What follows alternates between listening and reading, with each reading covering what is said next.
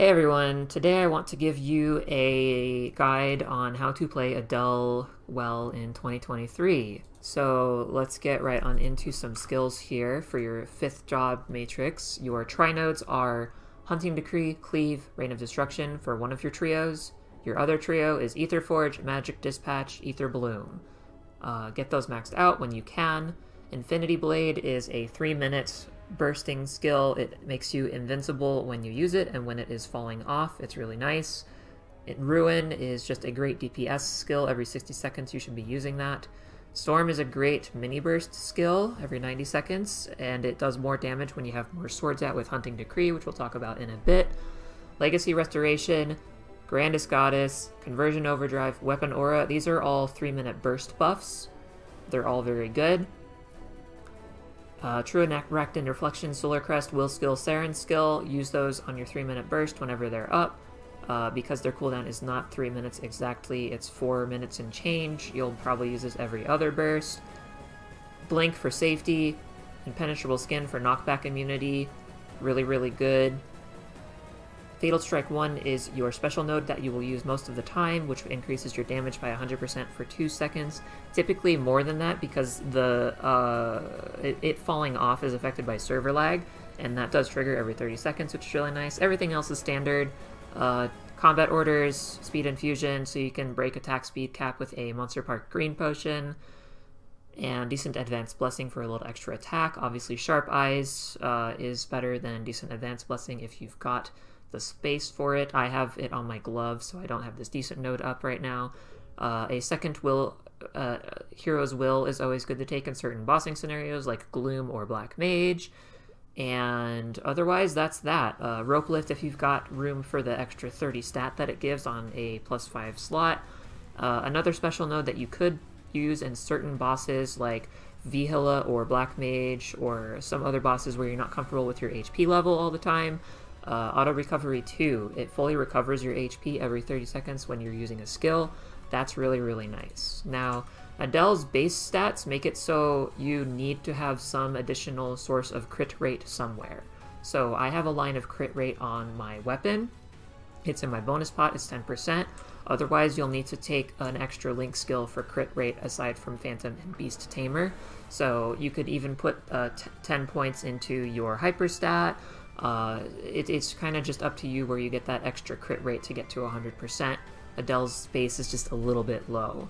So I've got two link skill setups that I usually take these days. I've got a full DPS and I've got a safety setup. The full DPS setup, I've got Mage Link, Beast Tamer, Demon Slayer, Xenon, Kinesis, Luminous, Phantom, Ark, Angelic Buster for Mini Burst and Burst. Terms and conditions is really good. Tide of Battle is Illium's. Unfair Advantage is Cadena. Wild Rage is Demon Avenger.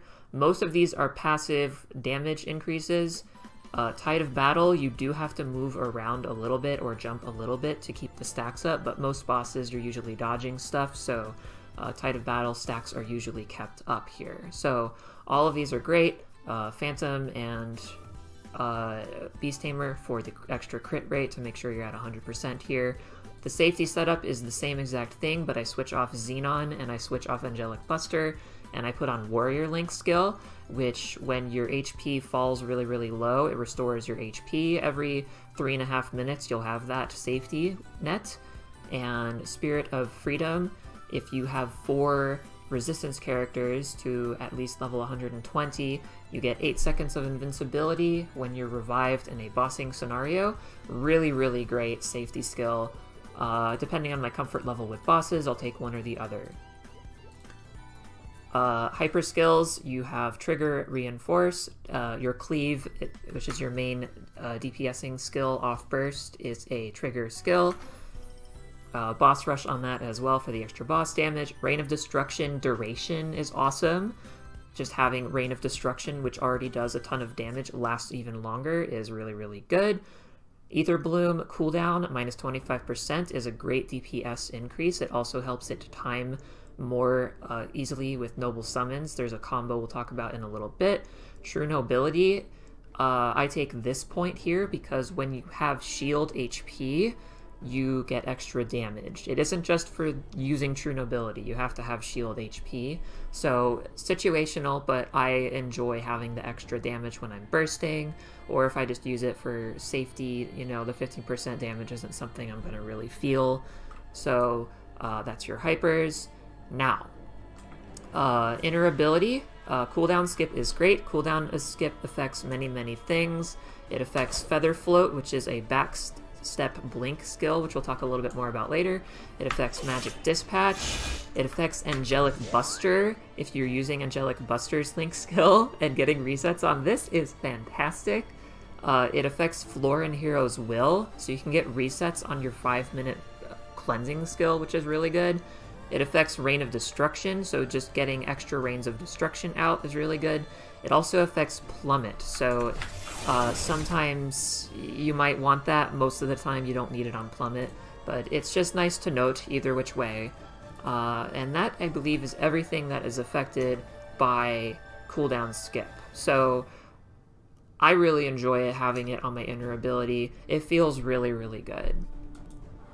Now we're going to talk about a couple of combos that Adele has. You have Impale plus Resonance Rush. Here's what it looks like. Impale puts a Aether Crystal out where the particle ends. Resonance Rush dashes you towards that crystal and also does damage to whatever you're dashing through. Why do you want to use Resonance Rush on crystals? Because when you do that, you get a buff that stacks up to two times that gives you 5% final damage and 5% ignore enemy defense. This lasts around 40-ish seconds, so it's really, really good. Uh, you can stack that up to two times. So there's one way to get your stacks of Resonance Rush up. The other way you do that is when your swords are attacking something, crystals periodically appear. You can use your hyper skill Shard Breaker that makes a ton of crystals appear, although you'll probably just be using that off cooldown for damage. Uh, you don't really need to use Resonance Rush every single time you see a crystal. It's really just to keep your stacks up or to move around the map quickly because you can impale in a diagonally upward direction and then you can put a crystal up there if you want to get some vertical momentum going in a boss scenario or something like that. Now another combo you have is having some swords out here you can use Magic Dispatch and you can use Noble Summons at nearly the same time. So if I do that really quick, that's what it looks like. Magic Dispatch makes those missiles shoot out and home into an enemy. Noble Summons brings all the swords back to you. So if I combo that with now Aether Bloom, I use uh, Magic Dispatch, Noble Summons at the same time, and then Aether Bloom followed up there's a there's a pretty standard combo for Adele right there, is bringing all your swords to you and using Aether Bloom to make them twirl and do a lot of damage all on one spot. Now, this does require you to be on top of the boss, so make sure you're chasing the boss and standing on top of it when when possible. Magic Dispatch does have a little bit of range, so you can use it if you're trying to just attack at max range. So just in case you need to be safe. You don't need to stand on the boss, uh, but it's more damage, obviously, if you're standing on the boss. Now, of course, in order to summon swords with Hunting Decree here, you do need to have Aether Forge active, and you do need to have Aether Meter here. So every 100 meter that you get, which goes up every time that you're attacking here, uh, you'll get a sword that you can summon, which turns into two swords really when you use Hunting Decree. You can have up to six out standardly, or if you use Legacy Restoration, which we'll talk about later for your burst, you can have eight. And these swords last a set amount of time, 40 seconds, so you don't have to really keep these, keep smashing the button if you don't want, but I usually have Cleave, which is the standard attacking skill off first, right next to Hunting Decree, just so I can not only fill up the meter constantly, but keep using the meter in a very comfortable position on the keyboard. So let's turn all those guys off for now. That's your combos on Adele. Uh, let's talk a little bit about safety. So High Rise is a first job skill. You can right click it to command lock it, or you can just have it standard uh, you can put this on your keyboard or you can double tap the up arrow key mid-air. It lets you hover for a couple of seconds It's really, really useful if you need to freeze your aerial position. Imagine if you're in something like Lucid and you want to just weave in between some flowers in phase one, or Will sends out his floor spider in phase two. You can just keep attacking while it goes underneath you. Uh, you can avoid Guardian Angel Slime's one hit KO jump. Uh, you can continue DPSing during Gloom's laser if you up jump and use high rise midair. Uh, and if you don't want to up uh, double tap the up arrow key, you can always hotkey it. I just personally find it more comfortable to just double tap it. Feather Float is a blink backwards that makes you airborne if you are currently grounded.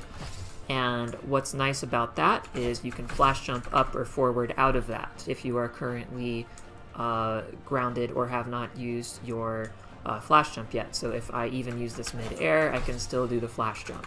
So Feather Float is really, really nice. You can use it to avoid Lotus's laser in P1. You can use it to avoid Will's tornado in P1. You can uh, use it in various situations where you just need to like, oh shit, I'm too close to the boss. Uh, now, you need to be wary of Lucid's P1 golems because it does count as a teleport effect, and going through Lucid's golems like that will do a ton of damage to you, but it can be good in a pinch. Uh, Aether Guard is what used to be an iframe is now a guard. So if you just hold the skill down, it's a damage reduction, and you can hold the skill down for a very long time. And for every second that you don't have it held down, the cooldown does get reduced. So this can be very, very handy uh, for just, hey, I'm standing on top of Lucid, she's using her uh, scythes in phase two or phase one, I just am going to hold this down to damage reduce and survive. Now you can also perfect guard. Now what that means is if you use this skill within like a quarter to a half a second before something hits you, you will nullify the damage completely and you'll get an even bigger amount of damage reduction by holding the skill down. So uh, using this skill and getting used to the perfect timing is uh, very, very nice, and you should definitely keep practicing trying to get perfect guards off. But holding the skill down just for damage reduction if you don't have the muscle memory or the timing for it yet is totally valid because you'll still live a lot of the time from just using it. Uh, True Nobility is a big shield. You do get a lot of shield HP from this, so uh, there is that hyper skill I talked about when you have shield HP, it increases your damage. This is that skill. Uh, this is 20 seconds of survivability every 3 minutes. It's really, really nice. If you are in a party, you do take damage from some of your party members, so it can be a little weird getting used to it. But for the most part, this is an excellent uh, damage safety skill for you to just be like, I'm bursting, I want to just be safe during it, or like if you're in a tight spot in Lotus or Will, Phase 2, Phase 3, Vihilla, you know, situations where there's a lot of trash falling from the sky, or if there's just a limited amount of healing, this can save you quite often. Uh, True Nobility actually does get reset with cooldown skip, I forgot to mention so please forgive me earlier for that mistake. Uh, and when this resets, it also feels really, really good because you're just invincible pretty much. The shield HP generated is quite nice when you get hit. Uh, Plummet is a skill that lets you stop your horizontal momentum immediately. So imagine you get knocked back by Vihilla, you can just plummet and not get hit by a string perfectly. Uh, also, uh, you can, like, if you're keeping your Resonance Rush stacks up, doing it upwards. You can use it to get back down to the floor very quickly. Impenetrable Skin is really great. I use it in Lotus and Vihila for their super knockbacks when they are not bound. I uh, usually don't use it until they're unbound after I'm bursting, or if Lotus is using like the floor lasers, I'll use it if I don't feel too safe, just so I don't get knocked off the platforms that fall down. Uh, Legacy Restoration, this is often overlooked, but it does restore 10.5% max HP to you and your party members every time it ticks, um, which likely won't save anyone's life, but it's nice, a little bit of extra nice safety during your three minute burst Uh, you will not use this for the HP effect, you will always use this for your 3 minute burst. Um, just a little bit of uh, HP restoration that most people probably overlook. Uh, Blink is really, really good. It lets you just go to a random location on the map. If you're in a very, very dire strait, you can use that as a last resort just to sort of get out of a bad situation if you're against a wall or something like that. If you use it mid-air, you can kind of combo it with Adele's already built-in high rise. So there's high rise. I'm holding the blink skill down, blink activated, and you can move around but not attack while blink is activated. You can use that to avoid uh, Lucid's Dragon in Phase 1. You can use that to float over the floor lasers in Lotus on Phase 2 and Phase 3. Black Mage's rolling meteors on the floor. Just any floor attack really uh, is Blink is really really handy for uh, just getting out of. Uh, Floran Hero's Will uh, is really good to cleanse, you know, status debuffs like in Gloom or Darknell's la uh, lasers, meteors. Uh, you can also use it preemptively for status avoidance, like if you're in currently in Darkness and Gloom, which they are fixing. There are no meteors in Gloom in, in a couple patches or something like that. Uh, but for now you can use it and you can hover and you won't get stunned by an orb and die in gloom. You can also use it in Black Mage preemptively because when you use it you're immune to all status effects for 3 seconds so you won't get a black or a white curse. You saw me get a reset earlier. It's really nice when that resets with the skill skip inner. And that's about it for safety. And getting used to all of that takes some time but it's really handy to have all of these tools in your kit. So now DPSing off burst, you're going to be spamming cleave. You're going to have six swords out. You're going to want to try to keep six swords out because they do a lot of damage.